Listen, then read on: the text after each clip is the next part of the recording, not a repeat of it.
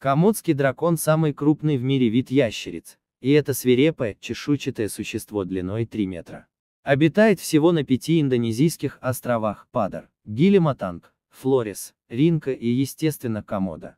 Эти животные поистине ужасают своими ядовитыми укусами, огромным ростом и плотоядным рационом. Они охотятся и убивают животных, которые намного крупнее их, включая людей.